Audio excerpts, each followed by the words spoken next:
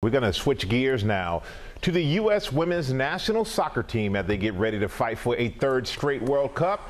They're being honored for a different fight. We can exclusively announce that this morning the team will receive this year's Arthur Ashe Award for Courage at the ESPYs for its fight for equal pay with the men's soccer team. The three year legal battle ending last year with an agreement to pay all players the same. The team has used its platform to bring attention to pay inequity and social injustice in the U.S. And star Megan Rapinoe thinks women's sports is on the verge of something much bigger.